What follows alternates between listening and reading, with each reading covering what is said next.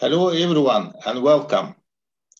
I am very happy and excited as we have yet another wonderful occasion of the inspiring online seminar series of TÜBİTAK Research Institute for Fundamental Sciences, which we organize for national and international audiences. It is my distinct pleasure to let you know that this evening our speaker is Professor Fay Dowker from Imperial College, London. She has kindly accepted our invitation to join us for this seminar and will give a great talk entitled Physics and Experience. The talk is part of our Mathematical Physics and Applied Mathematics seminar series. At the end of the talk, we will have a session for questions, which one can ask by sending a message through chat button of the Zoom platform or by using the microphone. Fay is a British professor of theoretical physics at Imperial College, London, and an affiliate of the Institute for Quantum Comput Computing.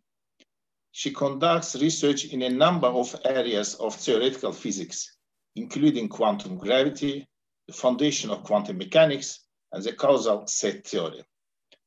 As a student, Fay was interested in wormholes and quantum cosmology. She was awarded the Tyson Medal in 1987 uh, for her work in mathematical tripos at the University of Cambridge and completed her PhD on space-time wormholes supervised by Stephen Hawking. Fay Dowker did her postdoctoral research at Fermilab at the University of California, Santa Barbara, and also at the California Institute of Technology.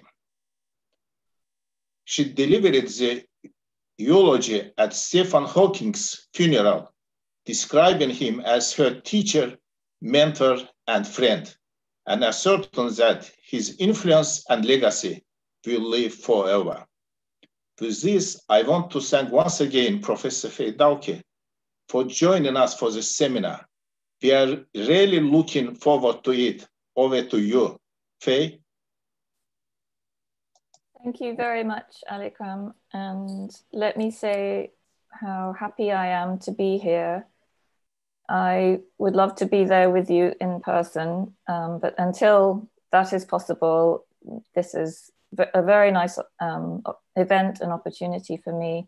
I'm very grateful for the invitation. I have found that it has given me great solace and comfort to be able to commune with my colleagues all over the world in this difficult time. And I feel that as scientists, we can continue to build our community of scholars who are pursuing knowledge and the truth in a way that I hope can continue to be without boundaries and without borders. Let me try to share my screen with you.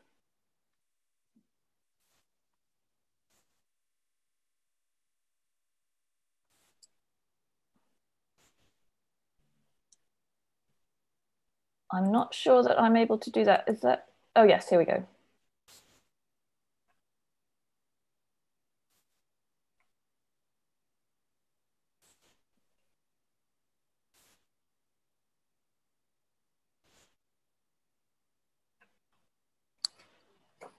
As Alikram said, I work it's on perfect. quantum. Yes. Perfect. Thank you. Good. So, uh, as Alikram said, I work on quantum gravity. And that's a theory that doesn't exist. So, it's a strange thing to work on.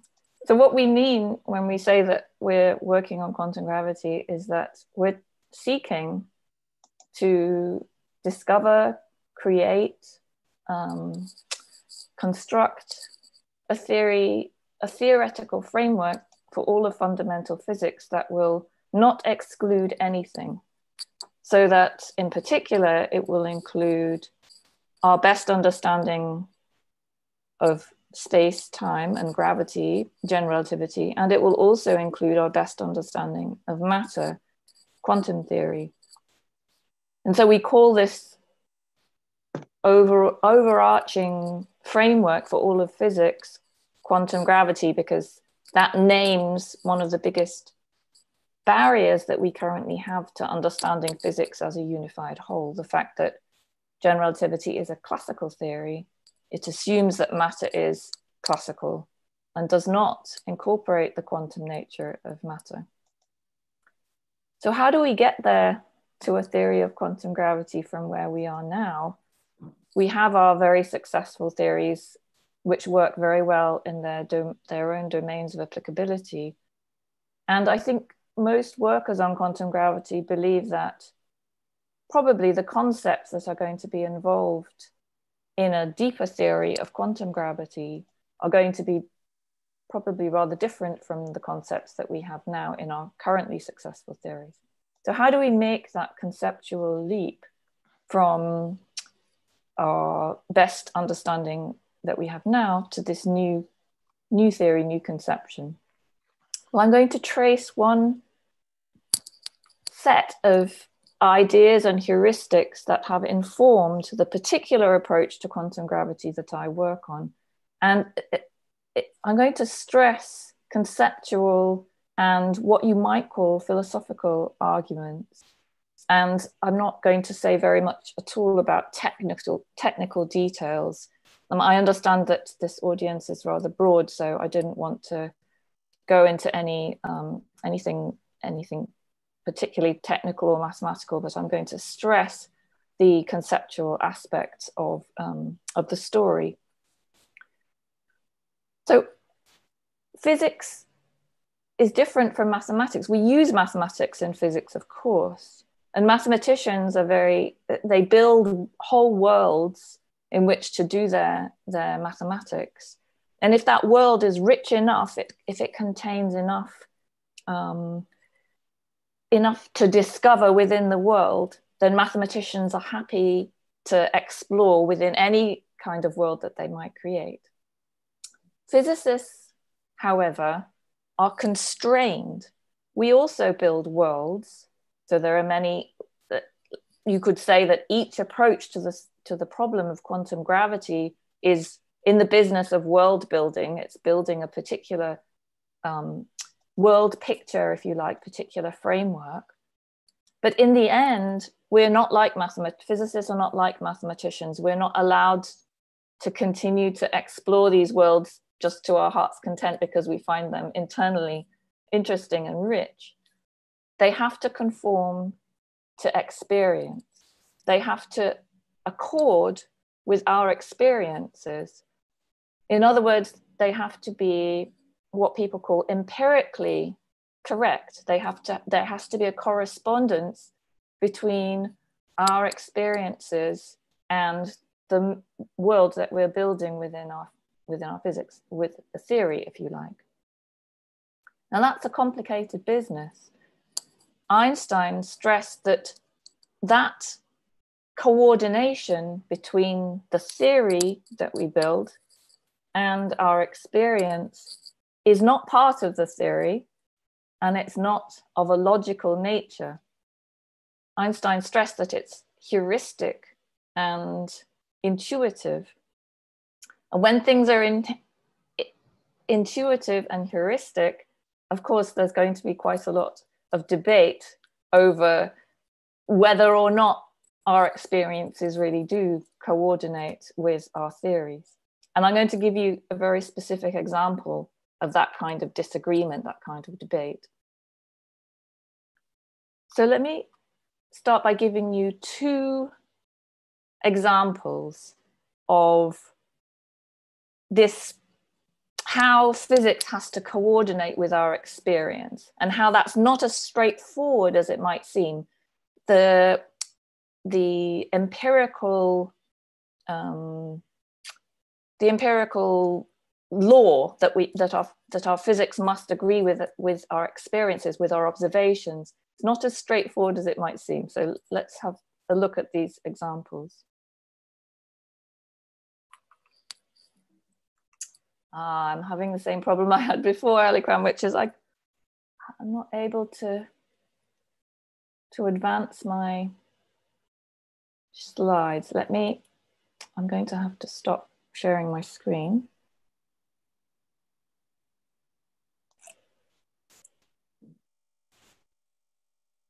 Let me try Samit, once more. baksana orada ne oldu?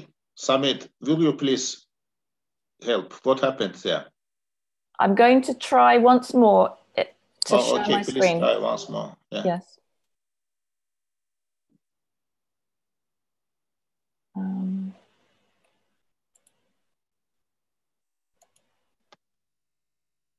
Mhm. Alakram, is that large enough for you to be able to read? Yeah, why not? Yes. It's okay.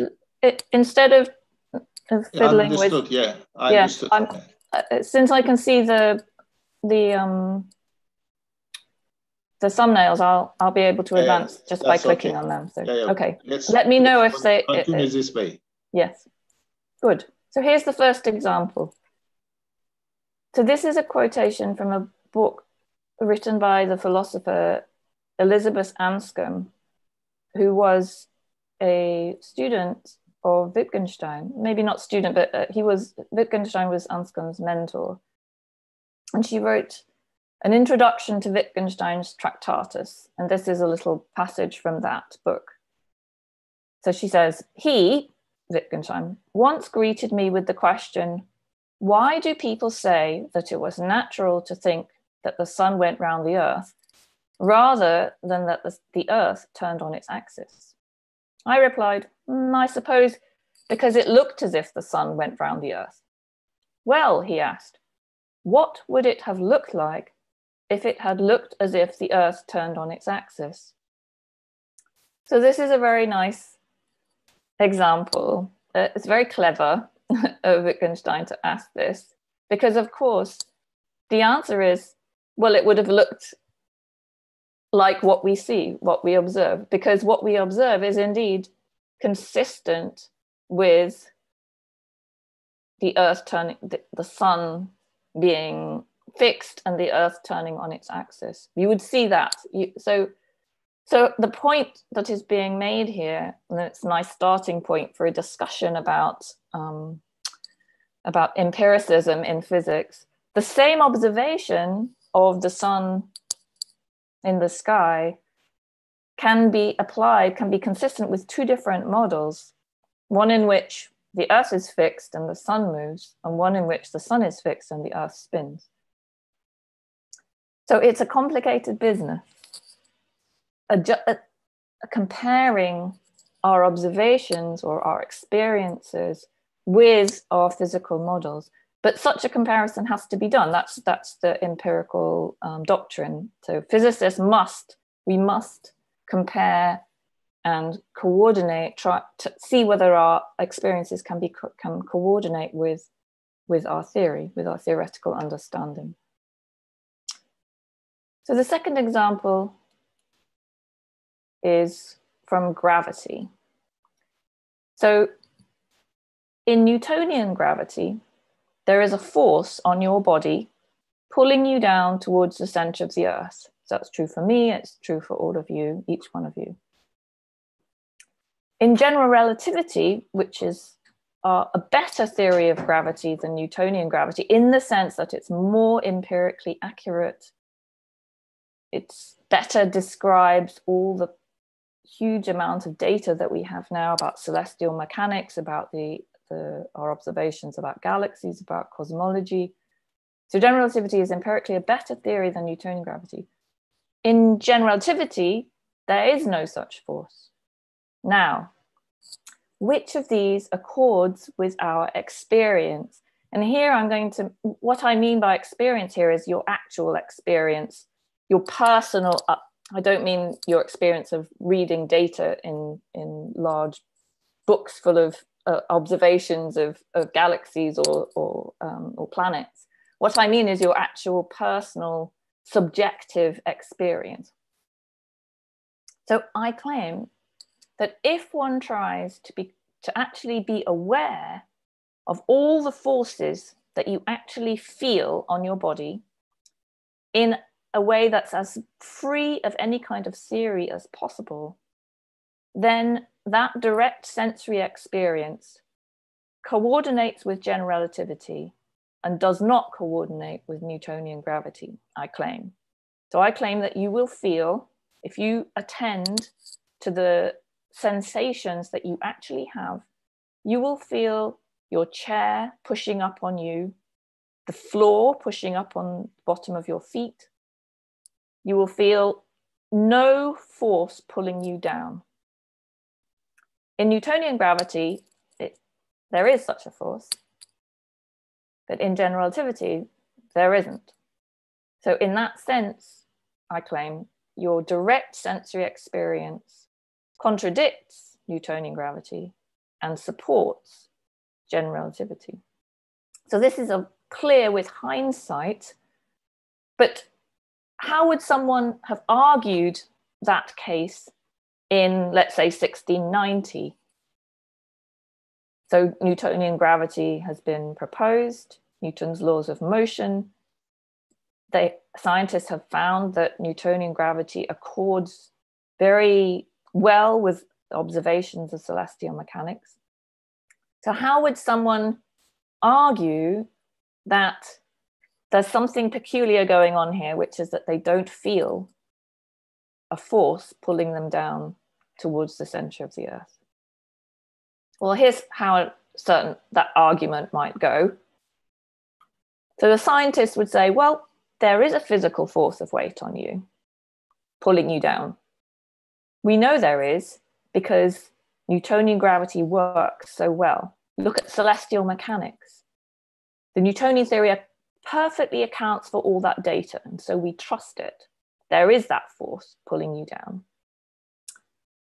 But some skeptic would say, might say, but I don't feel this gravitational force of weight pulling me down towards the center of the earth. All I feel is forces up on me. I do, I do experience other forces of comparable magnitude, but I don't feel this force pulling, Newtonian force of weight pulling me down. And the scientists would say, well, the force of weight is there. It's real, it's physical in Newtonian gravity, which we trust. So your sense experience of no force must be an illusion. There really is a force, but there's some reason that you don't feel it. There's neurology, psychology, the way that the mind and body work to produce sense experience. And that must be responsible for this illusion that there is no such force. But it's really it's definitely an illusion because the force is definitely there. It's definitely there pulling you down. In fact you don't experience it, it's just some illusion. It's just the it's it's psychology. And the skeptic says well maybe but maybe this is telling us to look for a theory of gravity in which there is no physical force of weight. Now of course history is on the on the side of the skeptic. Indeed, in the development of general relativity, Einstein realized that there was no such force, no such Newtonian force of attraction between any two bodies, massive, any two massive bodies in the universe, that such a force did not exist. Einstein called it the happiest thought of his life. In 1790, it was premature to take the thoughts of the skeptic forward. There was no way that uh, that Newton could have made the made the breakthroughs or or uh, performed the development of general relativity because Newton didn't have the concepts that were needed to make the leap to general relativity. In particular, Newton didn't have the concept of the field, which was necessary in order to to construct general relativity. So it's a, it's not a his, this is not a historical um, conversation. There's no evidence that anyone in the 17th century had such a conversation. Um, but it's it's interesting to think maybe someone did think this and we just have no record of it. So what I'd like to suggest to you, and I'm going to argue for in, the, in my talk tonight, maybe we're now at a similar juncture in the history of science as that moment in the in the after the discovery of Newtonian gravity. And in this now the the situation is that the potentially fruitful suggestion, the analog of the lack of the force of lack of feeling of the force of weight, the potentially fruitful suggestion is that we should take seriously our experience of the passage of time as scientific evidence. Evidence for what, though? That's the question. And what I'm going to do is I'm going to argue that it's evidence for a particular direction of research in quantum gravity. And I'm going to um, argue for that and explain what that direction is. Now, uh, the passage of time is something very fundamental to our experience. We have experiences in time. It's impossible really to, to make sense of our lives except in the context of a fixed past, of events that have happened, some open future of events that have not happened yet, and an ever a rather mysterious but ever moving ever ever changing ever um, uh, difficult to pin down moment of now which separates the past from the future. So it, it's something very deep in our experience but i claim many people do deny that it is real physically real. So here's an example of that. And i want you to remember my admittedly fictitious um, example of the conversation between the 17th century scientist and the 17th century skeptic. So this is a quotation from um, an interview with Paul Davies, who's a theoretical physicist. He's a he his subject area is quantum field theory and curved spacetime. And Paul Davies says the flow of time is an illusion. See, it's an illusion. It's not real. It's an illusion. And I don't know very many scientists and philosophers who would disagree with that, to be perfectly honest. And pre- presumably, explanation for this illusion has something to do with something up here in your head. And it's connected with memory, I guess, laying down of memories and so on. So it's a feeling we have, but it's not a property of time itself. Time doesn't flow. That's part of psychology. So, yeah, the, I want you to think of the analogy of the scientist saying, Well, I know you don't feel this force of weight, but there's something to do with psychology and, and the brain and the mind that that means that you, you don't feel it, even though it is real.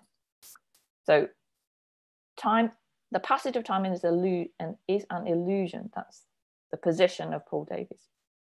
Now, not everyone agrees, although I do think that Paul is um, right in that most scientists and most philosophers do think of time in this way as an illusion, but not everyone. So here's an example of someone who disagrees. This is a quotation from a paper called Time Really Passes by the philosopher of science, John Norton. And John Norton says, Time really passes. Our sense of passage is our largely passive experience of a fact about the way time truly is, objectively. The fact of passage obtains independently of us time would continue to pass for the smouldering ruins were we and all sentient beings in the universe suddenly to be snuffed out. We have no good grounds for dismissing the passage of time as an illusion. It has none of the marks of an illusion, rather, it has all the marks of an objective process whose existence is independent of the existence of we humans. Now, these two positions are illustrative of a long standing debate about the nature of time. And when I say long standing, I really mean long standing. I mean that it has existed ever since we have records of people thinking about anything. So, uh, thinking about the nature of the world, thinking about the nature of time. And to illustrate that, I've chosen another two quotations, one on each side of this debate. And I've labeled the two positions being, which is uh, the position of, of Paul Davies, that the passage of time is an illusion, and becoming, which is a label for the position of, of John Norton. that time is, is real, it's a real process. So on the side of being, we have Parmenides.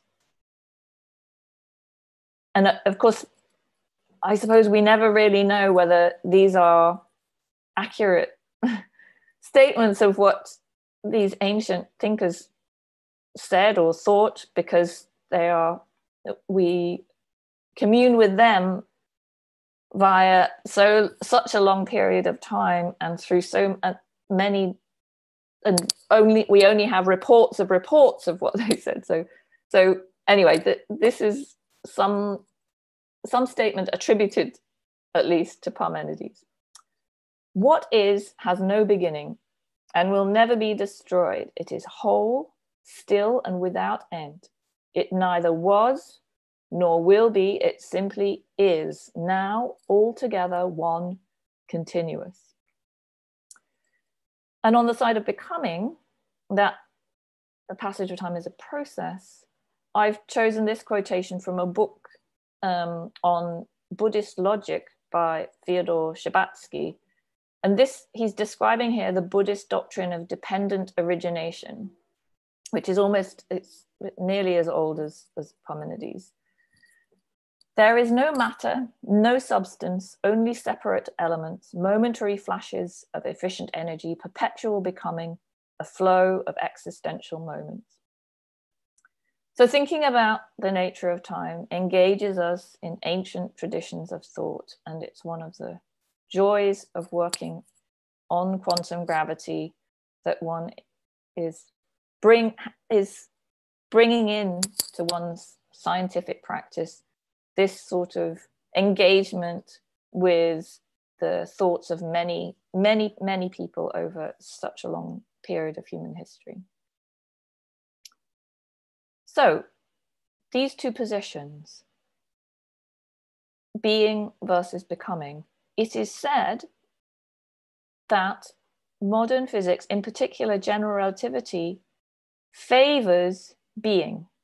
So in the debate between being and becoming, general relativity is evidence for the position that the world simply is. So, what here's an example of someone saying exactly that. This is a quotation from Sean Carroll, um, who's a cosmologist, um, and he wrote this on his blog so he says modern physics suggests that we can look at the entire history of the universe as a single four dimensional thing. That includes our own personal path through it, which defines our world line. This seemingly conflicts with our intuitive idea that we exist at a moment and move through time. Of course, there is no real conflict, just two different ways of looking at the same thing. There is a four dimensional universe that includes all of our world line from birth to death, once and for all. And each moment along that world line defines an instantaneous person with the perception that they are growing older, advancing through time. So I want to explain now a little bit why it is that general relativity supports this view, what people often call the block universe view. So it, the side of being in the being versus becoming debate is off the side of being is often referred to as the block universe. So all events, past, present, and future, exist in a block in this timeless way. So why is it that people say that general relativity, that, so Sean Carroll here is talking about general relativity, why is it that general relativity supports this block universe um, picture? Well, to explain that, I want to step back, take one step back in the history of science to Newtonian physics, to the view of space and time that existed before general relativity, to contrast the picture that general relativity gives us. So in Newton's worldview, the worldview of Newtonian physics, space-time can be thought of as being four-dimensional, just as it is in general relativity. But Newtonian space-time is made of slices of space stacked up one on top of the other in the way that I've shown here in this cartoon. So this is a cartoon of four-dimensional space-time, which one can't draw. So it's a three-dimensional picture of a four-dimensional, actually it's a two-dimensional picture of a three-dimensional thing, which is supposed to stand for a four-dimensional space-time. So each of these slices here is supposed to be three-dimensional space, and it's, uh, it's some picture from the double from the Hubble deep field of galaxies. So, so there's space at, and each one is at a particular time. So this is at time t equals zero. One unit of time later, this is space again.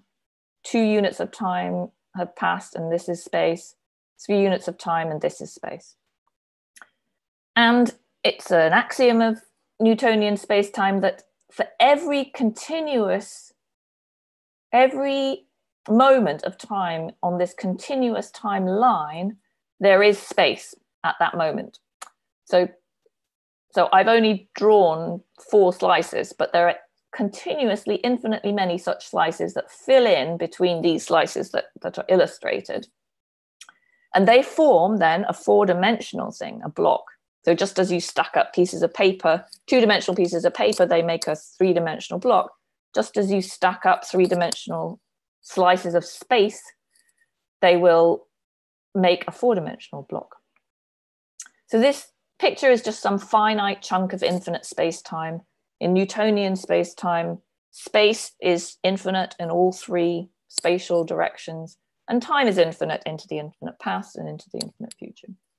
So this is just a little chunk of it.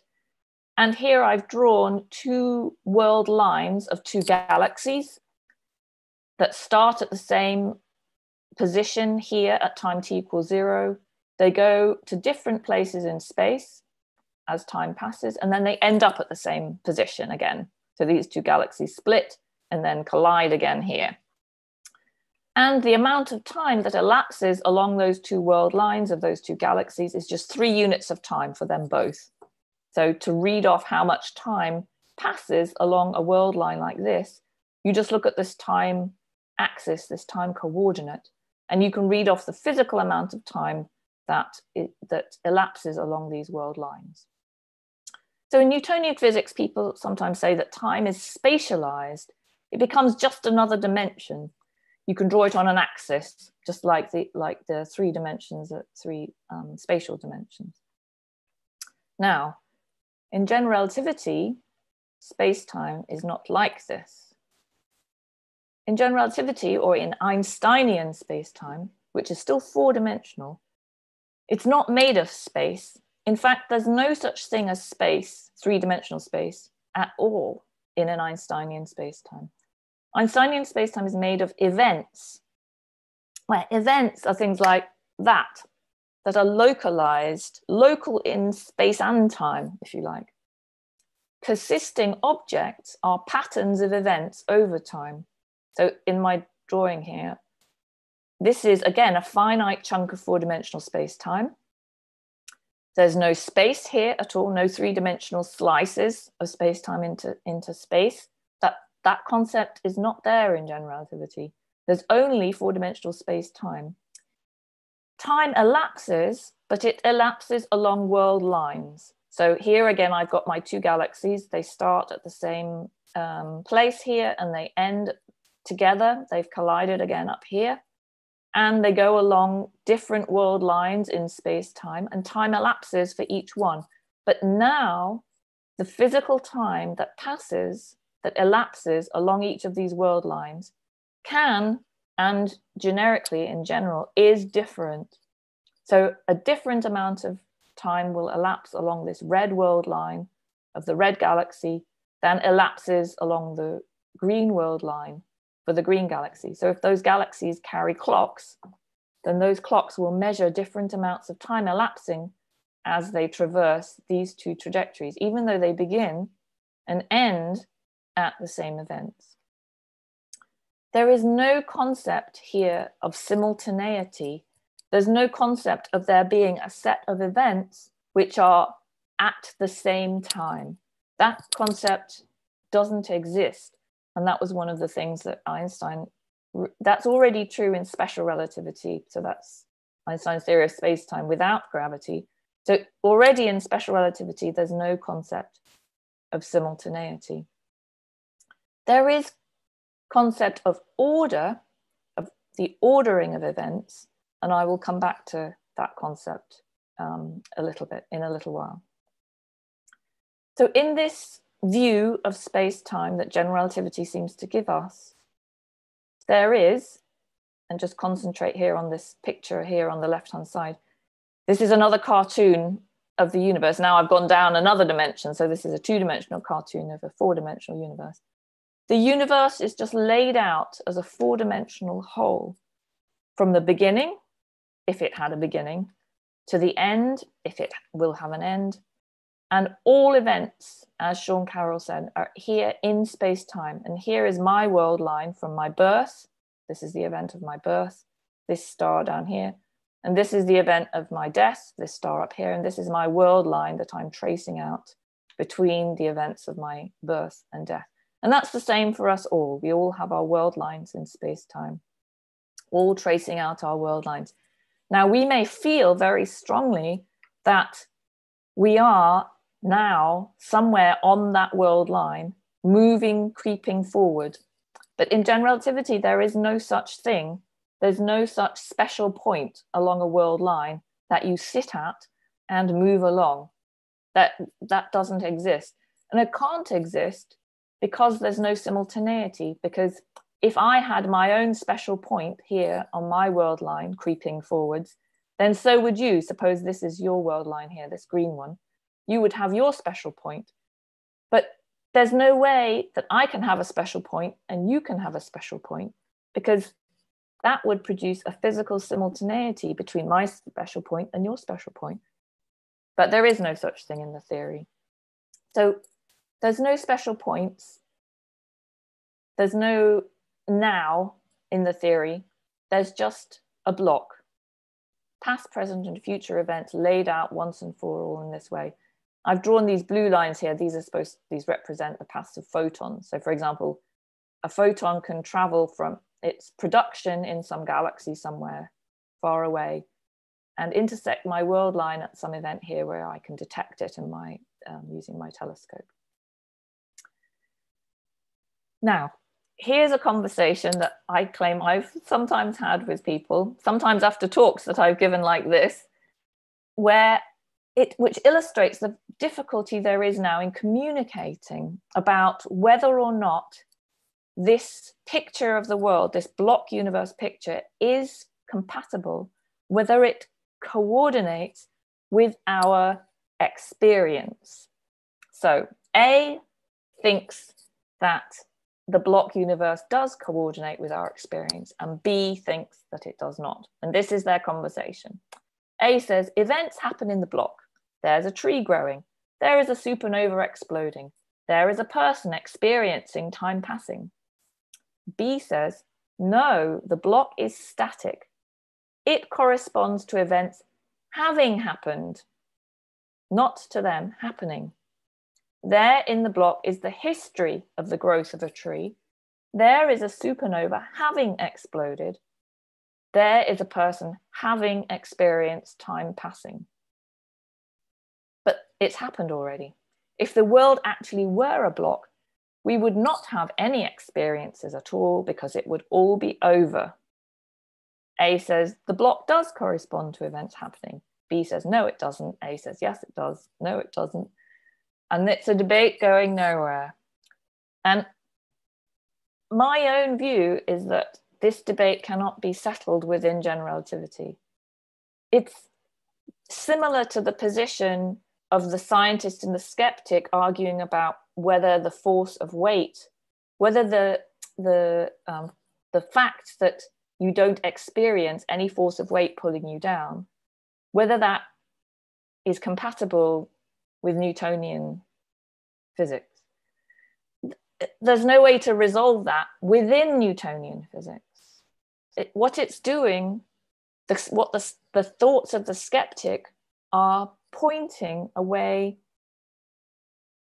beyond Newtonian physics, how a theory that's better than Newtonian physics could be.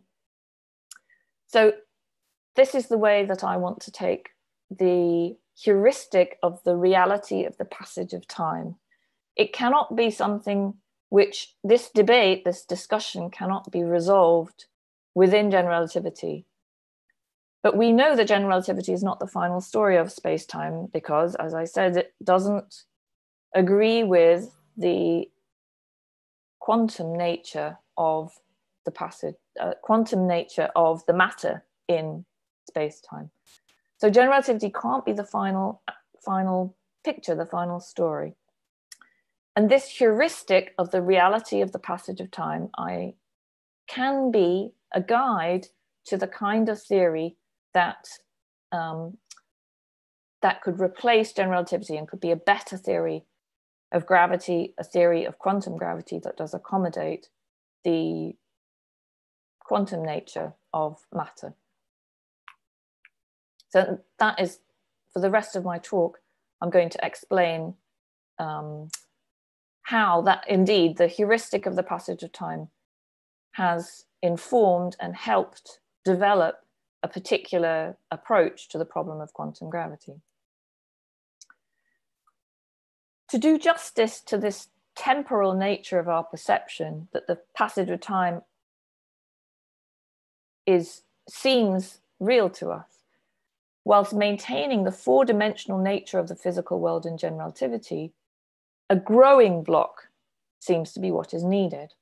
That there's a process of becoming for space-time in which the past is fixed and concrete, and which, but which grows and in which the future is yet to become.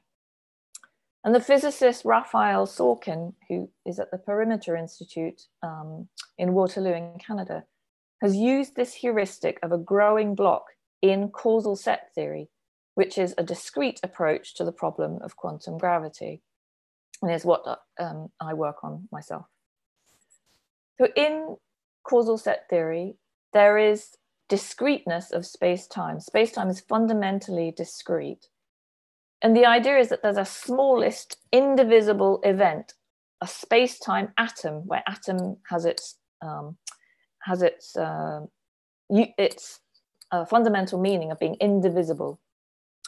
And the universe, the observable universe, is made up of 10 to the 240 of these, roughly, of these space time atoms, which is a way of saying that the discreteness is at the Planck scale. So space time is fundamentally discrete at the Planck scale. That's one of the fundamental axioms of causal set theory. And the discreteness being proposed is space-time discreteness. I want to emphasize that it's not spatial discreteness. We don't say that space is made of spatial atoms because there's no such thing of, as space in general relativity.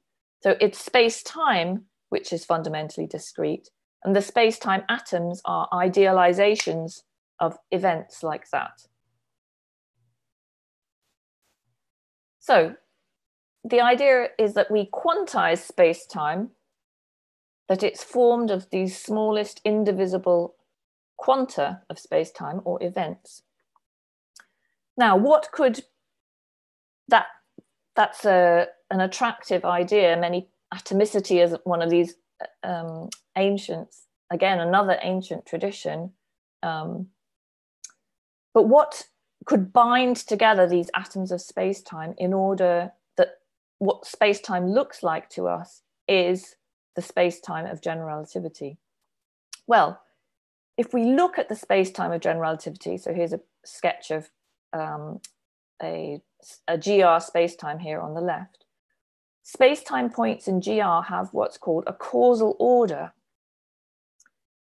And that's fundamental to GR because of the limit of the speed of light for the travel for the propagation of signals um, and information in space-time.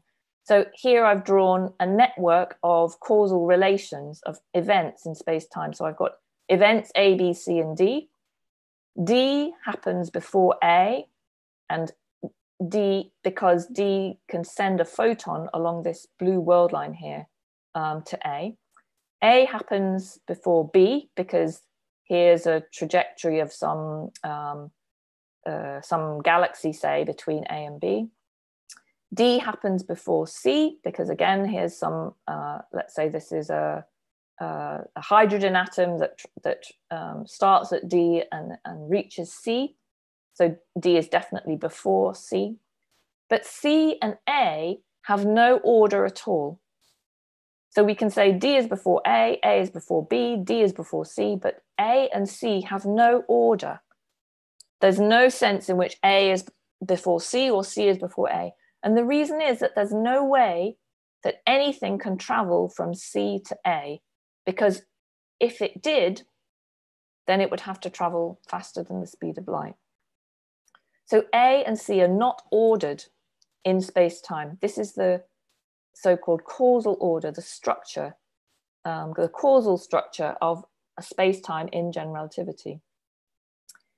Now, the idea behind causal set theory is that these space-time atoms, these discrete units of space-time, of which space-time is made, have a causal order. So here's a very small causal set. So it's got six elements. And there, these elements are ordered. So D is before A, A is before B, D is before C. But again, there's no order between the space-time atoms A and C. They are not ordered. So there's no, I haven't drawn any arrow between them because there's no order on them. This is what's known in mathematics as a partial order. And it's a discrete partial order. And this proposal for the a structure that could underlie space-time was made independently several times um, by 't Hooft by uh, Myrheim and by Bombelli, Lee, Meyer, and Sorkin. And it's Rafael Sorkin has is the um, is the main uh, champion of causal set theory um, since since 1987. Um,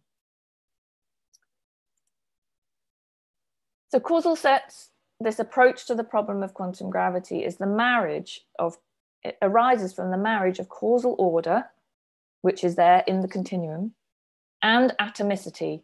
And this small causal set can't do justice to the, to the complicated network of, of relations that would exist in a causal set, which could underlie our observable universe, because that would have to have 10 to the 240 um, space-time atoms in it. The hypothesis is that the continuum space-time of GR is an approximation to the discrete reality like the fluid description of water. So water is fundamentally discrete, it's made of molecules, but at large scales, to us, it looks like a continuum, like a fluid. Another hypothesis is that the space-time atoms come into being. They're not there already in a block. They come into being in a continual random process of birth. And the order in which they are born is their causal order, which is not a linear order, but a partial order.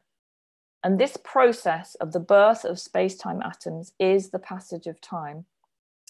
So this causal set here, if it were the universe, each of these space-time atoms would come into being.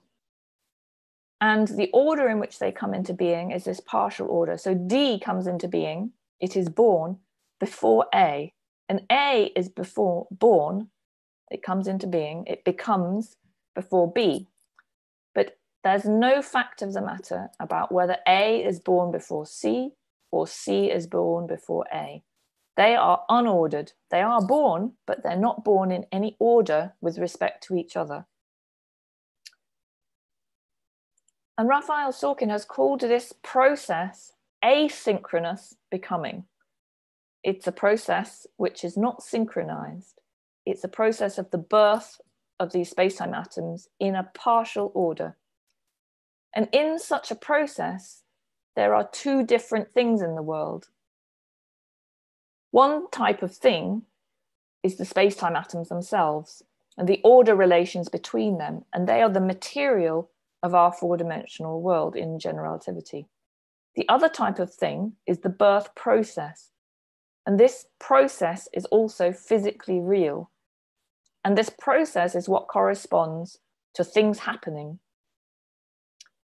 The unceasing cascade of birth events coordinates with our experience of the passage of time.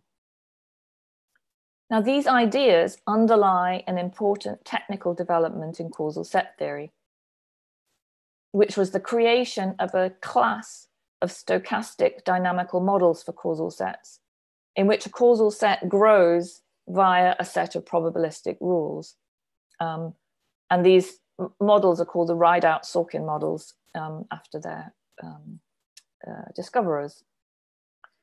Now, how to make this process of the birth of space-time atoms quantum mechanical is a work in process. The Rideout-Sorkin models are classically stochastic, but they don't incorporate any quantum interference.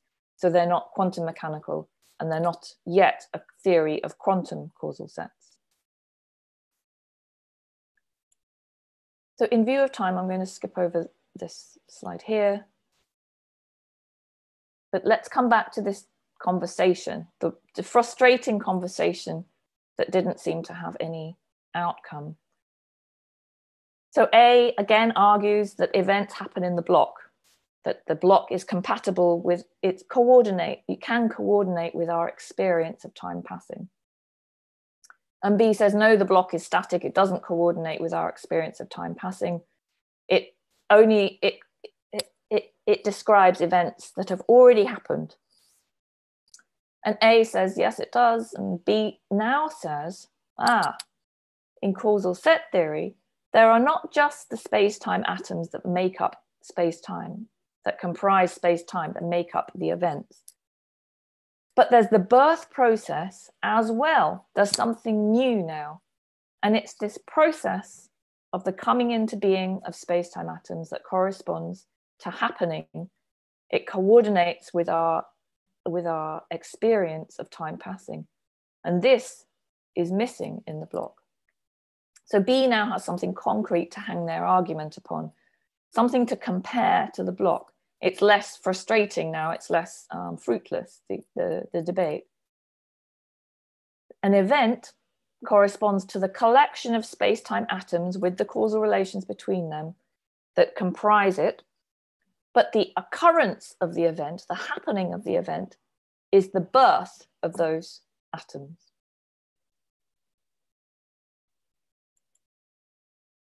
So let me summarize. I've talked about the science of time in the past with Newton, in the present with Einstein, and in at least a potential future with causal set quantum gravity.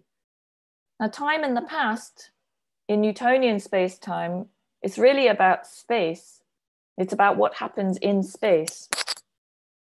Time in the present, that's Einsteinian or general relativity time, is about events, events comprising this block of four dimensional space time.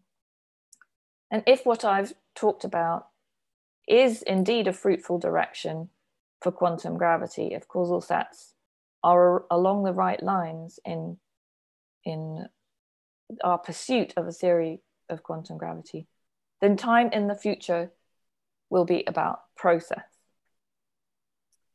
And then, if that indeed turns out to be the case, we'll be able to say that the essence of the physical world is creation. And that would be a beautiful unity because, as we know, the essence of physics is creation. And I'm going to end with this quotation from Abdus Salam. Salam was the founder of the theoretical physics group at Imperial College where I work. And in his 1979 Nobel lecture, he said, Scientific thought and its creation is the common and shared heritage of mankind. Today, we would say, humankind. But what I like and think is important and crucial here is that Salam says that not just science, but the creation of science belongs to us all. And I'll end there. Thank you very much for listening. Thank you very much for this very interesting and exciting talk. We can now pass to questions. Please ask questions.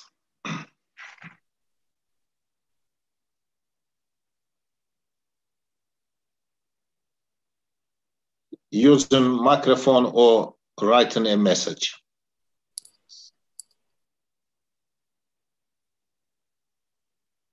I have a question for everyone. Yeah. Who recognizes this clock? Yeah.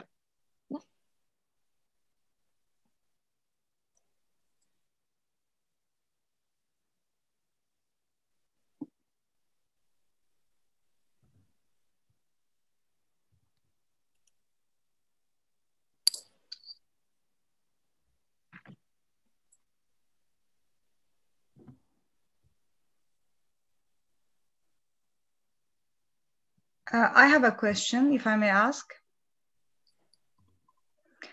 Uh, why do you think that uh, at the beginning of your talk, you were talking about the us not feeling the, the gravitational force actually, but perceiving it as if, I mean, uh, scientists being convinced that uh, there is a gravitational force, although we do not feel it. But if I sit, for instance, on a chair and put a very heavy book on my legs, I would feel some some pressure on my on my legs. And that would be very similar to the one if somebody just came to me and pushes my legs down with their hands constantly but slowly. So this also would with the direct um, logic it would lead to the conclusion that the book is actually applying some force on my legs which would be its gravitational force. And i wouldn't i mean the first thing that one person naturally uh, comments on this thing would be the force applied by the book rather than the force the, that my leg i mean my legs apply on it to to stop it to move on the geodesic. So why do you think that it is somehow i mean while the, the people can still observe this force that is applied on them by the objects why would it then be unnatural to think that there is a gravitational force because I'm not feeling the force, because I'm feeling the force of other objects on me? Yes, that's a very good question. So uh, uh, I, I think what you're driving at is that it's a consistent picture.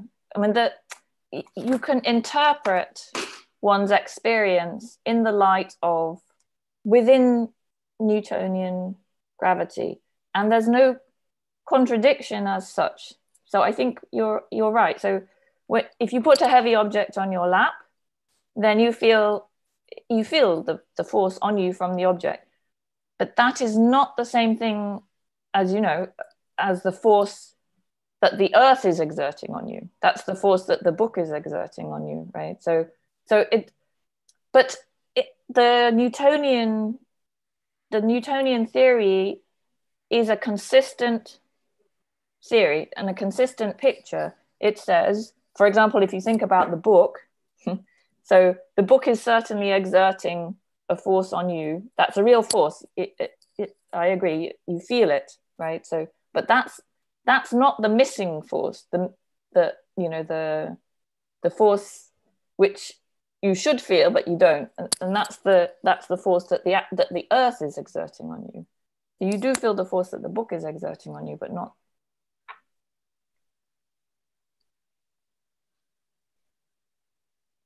So let me, so for example, you could put your hands on your lap, right? So, so if you, you rest your hands on your lap, then you feel two forces. If you concentrate on your hands, you feel your lap pushing up on your hands. and if you concentrate on your legs, then you feel your, your hands weighing on, on your legs. And of course, they're equal and opposite. Not quite because they're at slightly different heights, but you know, to very high degree of, of approximation. They are they are those forces are equal and opposite. So on your body as a whole those forces are not they don't come into play right? They, they can so if you're thinking about because your hands exert a force on your lap your lap exerts a force on on your hands so that they they don't. But yeah the, the, the missing force is is the force that the earth is exerting on you. If you uh, no no i, I that i yeah. understand but right. I, I mean the my logic is that then i could deduce that if i am the one who is feeling the force of the book and not the book itself but i am feeling it then the force that i am exerting because of the gravity would be felt by the ground you know like um, i mean it's also depends on your point of view and um, what level of deduction you want to you you see it see as fundamental right yes you're you're exploring this issue of of of data and observations and theory so the, the relationship between them. So so sometimes when i ask people what do you feel? they feel they say yes i feel heavy. I say well how does what does that feel like? They say well i feel something pulling me down. I said do you really? And and they they do because they what they do is they they interpret the pressure that they feel which is really pushing up on them they interpret that as a feeling of heaviness and a feeling of of of being pulled down. So so there's you know there's there's a very complicated interplay between model between your model the actual sensory input and data and and your experience your your experience and you know that's a very difficult thing to you know that they're so intertwined with each other it's very difficult to to you know to to separate out. Um, and in particular i think that probably there is no such thing as direct sensory experience. I mean that you know there are many examples of how you know um, you you you need the model that your brain filters the data that it's constantly receiving through to produce the you know the the the the experience and sensations that you have you know is is very very complicated business. And it, you're not what you're not getting is just you know raw data. That's that's not what you're experiencing. So it, yeah very very complicated. Yeah it's a, it's a long story but thank you very much. Thank you very much. It's very it was very interesting. Thank you. Thank you. Thank you for the question. Okay. Ibrahim ibrahim hocam you please no no Shema has raised her hand and there is also a question in the in the chat okay we have Fay, we have one question in the chat. Yes. And also, Shema has raised her hand. Shema, go ahead. Ibrahim Hocam, no, do you want to ask question? No? No, I don't have a question at the moment. I, okay, just... okay. So, do you want to answer the question in the chat or should I go ahead? Go ahead. Yeah, so I just wanted to, I think that was, that part was a bit fast. So I want to ask again. So, so as I understand this in the causal set theory, or I mean, this uh, third theory you um, described. So the space-time atoms, they are events, right? Am I, I mean, they correspond to what we call event in GR, but I miss what a process is. I mean, can you explain it again? Yes. Uh, so So, um,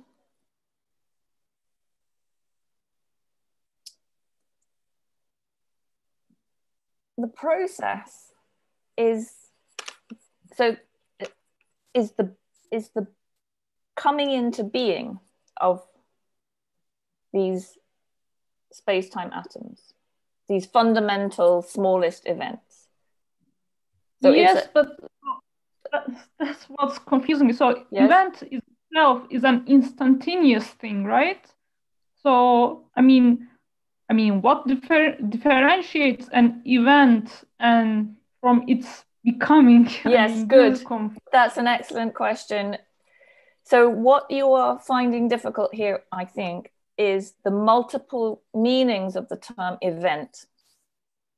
So, it, so uh, because in language, when we say an event, it sort of it comes along with the con the idea that it happens. So uh, that you know that, mm-hmm. that the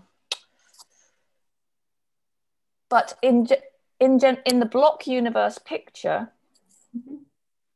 those events are just there i mean they exist mm-hmm. so they there's and there's never a time when they're not there because that makes no sense. They, they, there's just this timeless timeless block in which all the events are present.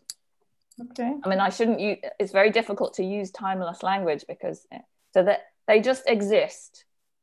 Mm-hmm. the past so events in your past exist events in your future exist and they there's no physical distinction between them. They just exist and they always have existed and they always will exist because because always have and always will have no meaning. It's just a block and that's that's it. Mm-hmm. Uh, so so mm-hmm. the the concept of process is in it contrasts with it's different from that. So it, it says that no those events so so now now the first step is to conceive of this block as being made of these discrete events so that so these discrete space-time atoms that's the first idea. So so you can think of a block causal set. The block causal set is just all of is just the gr the gr block but just discretized right? So so now we've just got these discrete um, space-time atoms maybe? right very tiny it's still a block. size lego blocks maybe say that again? Like Planck sized lego blocks maybe? They're like they they are Planck sized indeed yeah. Lego blocks makes them a bit more rigid. I think you should think of them more as more flu more flu- in a more fluid manner. So a, a, a, more like a fluid than a than a than a crystal let's say. But yes so planck sized so there so there are these you can think of a, a causal set block so it's just the whole of space time, all the events in the past, all of the events in the future, all existing in a in a way, and they're all physically um, uh, they have the same physical status. There's no distinction between past events and present events and future events. They're just the same. They have the same physical status. Mm-hmm. So you can have a causal set like that. That's just a, blo- a block causal set. But the process is something that you add. So you say, no, the causal set doesn't exist as a block. It comes into being in this process. It comes into being as a process in which each space time atom is born. It's not there, and then it is there. It doesn't exist, and then it does exist. And that's that, it's that process of the becoming of the space-time atoms that is new. It the block doesn't have it. So it but the the it's the and the process is physically real. So and uh, is this process? I mean, when you say process, do you talk about becoming of single event or becoming of a series of events or something? Yes, many of them. Oh, yeah. Okay ten, yeah, many, many, many of them mm. coming into being. Yeah. Okay, thank you. Yeah, that's an it was an excellent question. Thank you for asking it. It helped me to to be more clear. Uh, yeah, so so it I wrote a paper in which the subtitle was "The birth of a baby is not a baby." to make the distinction between the thing, which is the space-time atom, mm-hmm. and the process of its being born they're not the same thing, just like the birth, a baby is not the birth of a baby, because the birth of a baby is a, it's the, the process of the coming into being of the baby. So, yeah. Okay. Thank you. Thank you.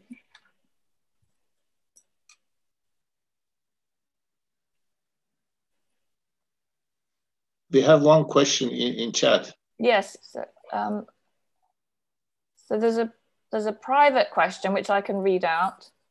Yeah, sure. But it's a it's a black hole question, so it's not okay. So It says, assuming I fell into a black hole and I end up in the center alive, will I observe the end of the universe? So, uh, this is a question from Ariane. Um, as far as we know, no, you wouldn't. Um, because, but what we don't know, of course, is is a theory of quantum gravity that will that will explain to us what happens in the singularity, what you what is referred to in your question as the center. So, so as far as we know, I think the answer is no. But but the thing is that we don't really have a full theory that will that that we can that we can actually even address your question within. So so yeah. Okay, so then the other question is, does the atomic structure of space-time arise from the atomic structure of time alone? So the atomicity is atomicity of space-time. So I don't know how to think of atomicity of time only. That's yeah, that's a that's a I I'm not sure how how a theory would look if somehow time were atomic but space time was not atomic that that's hard hard for me to conceive of so yeah so uh, i haven't thought about it so maybe there is a way to make that make sense of that but but the the atomicity of causal set theory is a space-time atomicity so it's it's it's space-time which is which is atomic or discrete. And then there's a question that i absolutely can't answer. Why is grav- the gravitational force the weakest force I've read a text saying that this force is weak because it is distributed in the lower dimensions of three-dimensional space. Could this be true? I I don't know. That I mean that I suppose you could frame I mean it's true gravity is weak, but in a certain sense it's also strong in the sense that it, it's the you know it's the force which governs the large scale dynamics of the cosmos. So so in that sense it's you know it's super important um, cosmologically. Um, you might ask you might try to frame the question in terms of what people call hierarchy problems. So you know so in a theory of quantum gravity in which there are no free parameters why are there any hierarchies at all? So how do hierarchy you know how do you know how do different mass scales arise in a in a theory in which there's you know there's no free parameters? And that's it yeah that those questions are some of the hardest in physics so i, I don't think that we have any any good answer to them. Um, so i yeah i i don't know the answer to your question.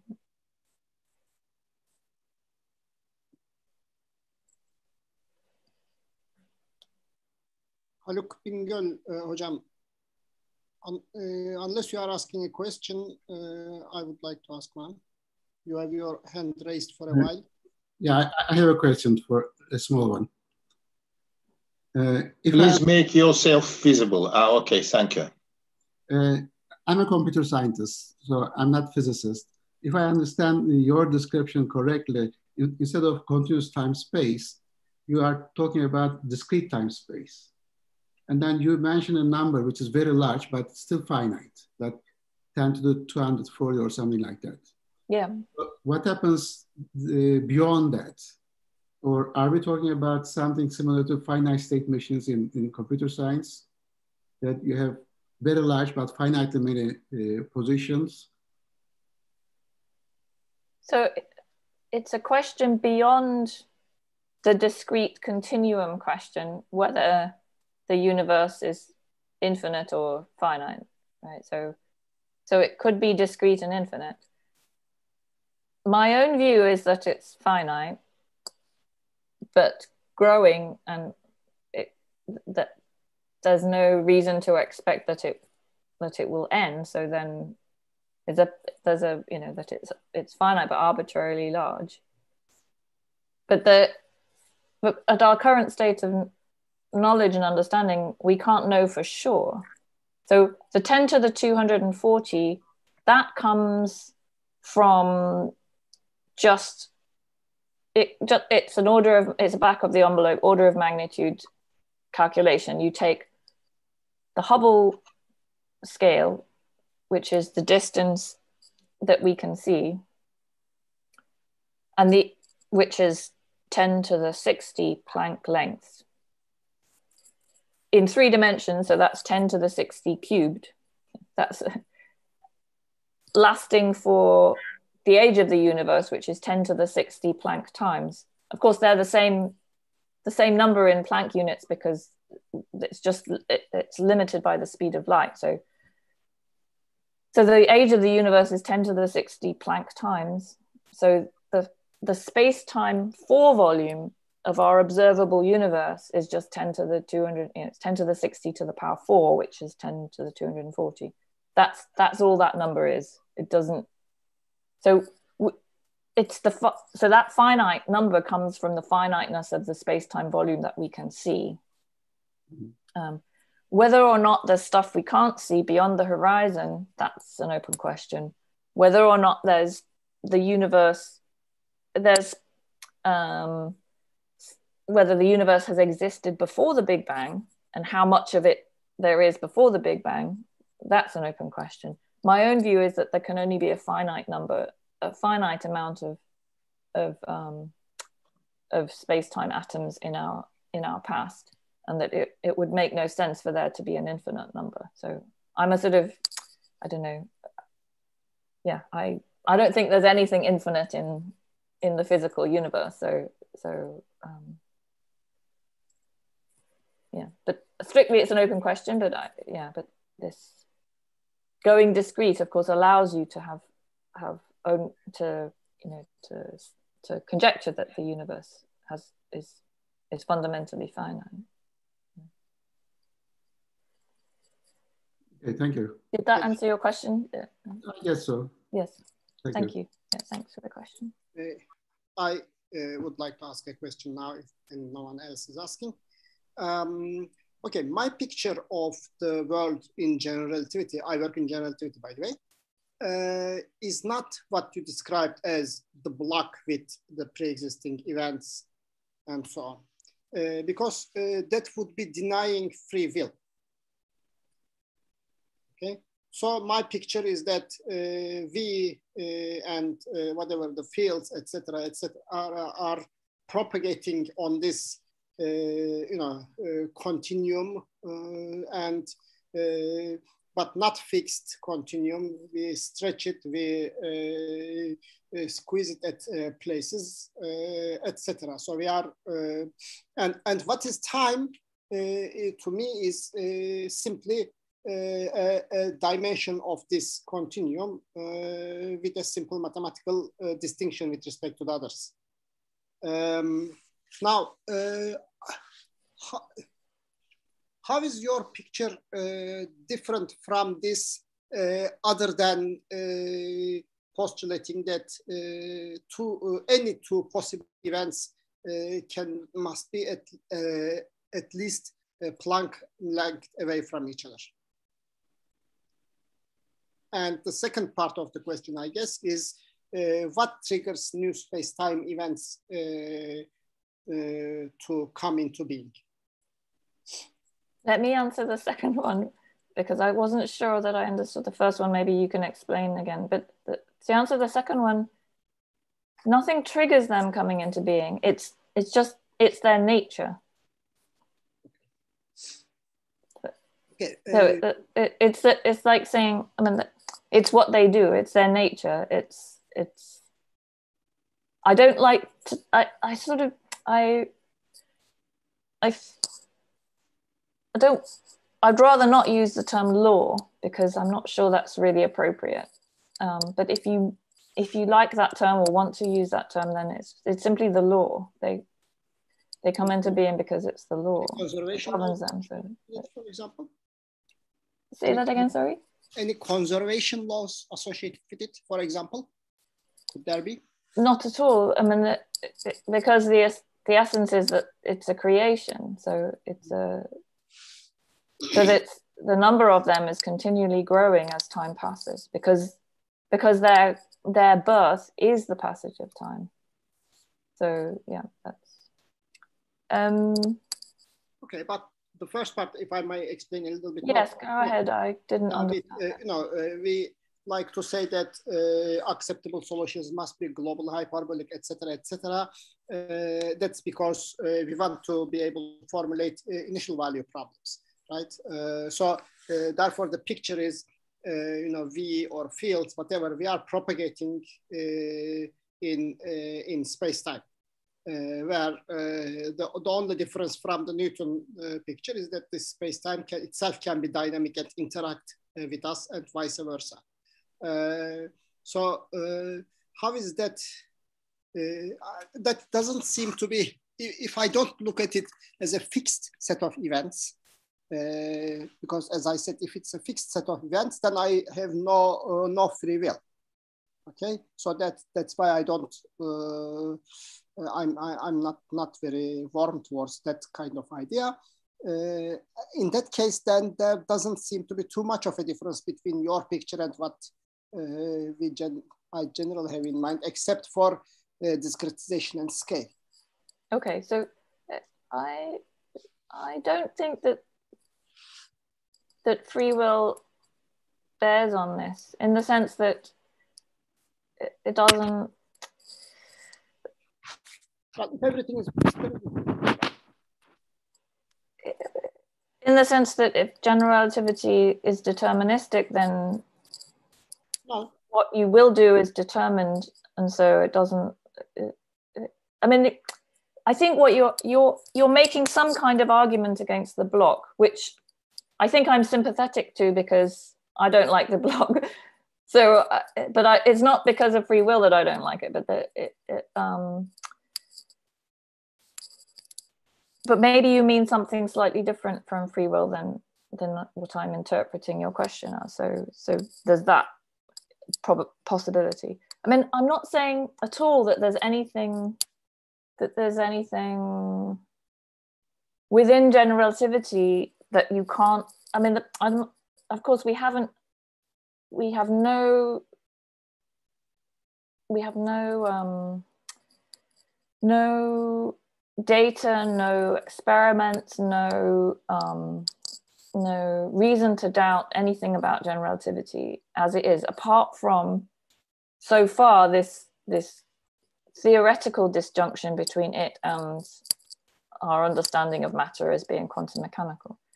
So as far as it goes as a theory of gravity for for the purposes of celestial mechanics and and explaining gravitational waves and everything that we're seeing about data about neutron stars and cosmology, it's that one can't fault it. So, uh, uh, and I think you know it is it is possible to to to conceive of oneself within general relativity, but I but but my uh, it doesn't there's nothing in it that coordinates with our experience of the passage of time. And well, that's my claim. and it's disputed as you, I mean, this, this argument that I, this sort of frustrating argument that I illust- that I used as an illustration is a real argument that I sometimes have with people. And they say, no, yes, it does coordinate with our experience. So, and I don't think that it can be because because of memory or um, psychology or something. And i don't think that the that can be resolved. So i'm proposing that this heuristic of the coming into of this of adding this process of the coming into being of space-time atoms is it go it's part of the development of an of quant, of a theory of quantum gravity which is something which so quantum gravity, you, if one, if one accepts that it's, um, that it's a valid, a valid scientific endeavor, then I'm using this heuristic of becoming as part of the development uh, uh, as I'm claiming that it has been actually, so um, it has actually been part of the development of, of causal set theory. So it's, I'm not criticizing general relativity within itself. I'm saying that for quantum gravity, this heuristic has actually been use of becoming has actually been useful. I didn't give you any of the details of the of the actual physical growth models that have been developed um, using this heuristic, um, which are interesting in themselves. I, I, mentioned they're, they're classically stochastic models. They're not quantum, so they're you know they're only toy models, if you like. We don't have quantum causal sets. Um, yeah. Okay, we have one question uh, in the chat, please. Yes. Uh, so the question is, or two questions, or three actually. Two even. yeah. what is the definition of time? Is it defined by movement? If time is an illusion, then why and how do we get older? If gravity is not a force, then what happens to there are four fundamental? All oh, right, okay. Uh, yes, well, there's the definition of time is different in different theories. That's what I've tried to draw out. So if you ask the question within, so, so there's no definition of time. You just you can just say in GR what is time. So in GR, time, physical time that we recognize as something that that you can measure by with a clock. So the physical time elapses along world lines. That's physical time. There, there's no other concept of physical time. Um, so in that's not defined by motion.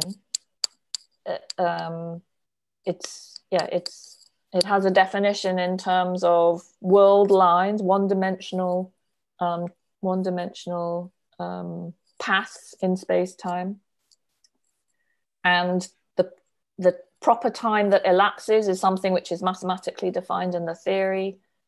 And so you can answer your question within a particular particular framework. So if causal sets, if this causal set picture is right, then there's something else that you can say about what time is, that the passage of time is the birth of space-time atoms. So in causal set theory, that's something that you can say about time that you can't say in general relativity right? So, so it, uh, definition of time it differs in different theories. That's um, so it's up to us to you know to decide whether it accords with our experience or not. So if time is an illusion, then why and how do we get older? so I think time is not an illusion. So yeah, that's uh, uh, we get older because time passes. That's yeah. Um, and if gravity is not a force, then what happens to their four fundamental forces? Oh, so I just think that's a bit of a shorthand. It's not accurate to say there are four fundamental forces. So it's just not an accurate statement. So yeah, it's a bit of a, you know, it's a, it's a bit, yeah. I wouldn't, I, I don't say that sort of thing myself. So.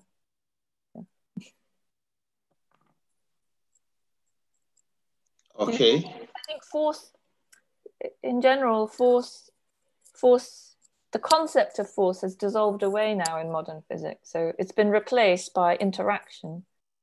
So that, yeah, I think, that, yeah. That. Hmm. Thank you for the questions. Okay. More question, please. If no more question, perhaps we can stop here. Fay, what do you think? That was great. Thank you very much for the questions. I wish that I was there with you so I could actually see you properly. And it's it is difficult to discuss online, I'm sure you can feel that. But um, I feel, yeah, that it will be really nice to meet you all and get to know you um, in person. So hopefully in the future that that will be able to. Yeah, sure. They're sure. Ex- really excellent questions. Particularly the I particularly enjoyed the one about the process. So trying to explain what yeah what pro- what I mean by process. These are not things which are easy. I it, uh, I myself ha- it's taken me a long time to come to the. I still struggle, you know, I, I, to come to the understanding that I, as it such as it is, that I have. So. Yeah. Thank you. Thank you very much. So let's hope to meet in person in future. Thank Indeed, you. yes. Yeah, thank you. Bye bye, everybody. Thank you. Take care. Take care.